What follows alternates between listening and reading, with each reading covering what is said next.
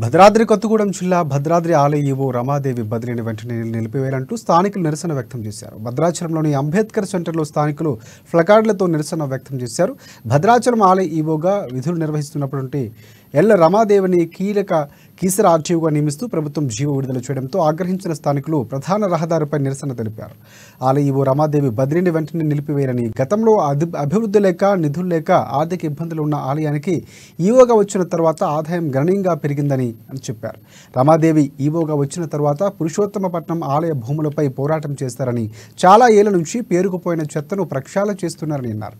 రాష్ట్ర ప్రభుత్వం ఆలోచన చేసి వెంటనే ఈవో బదిలీని నిలిపివేయాలని లేకపోతే పట్టణంలో ఆందోళనలు చేపడతామని హెచ్చరించారు.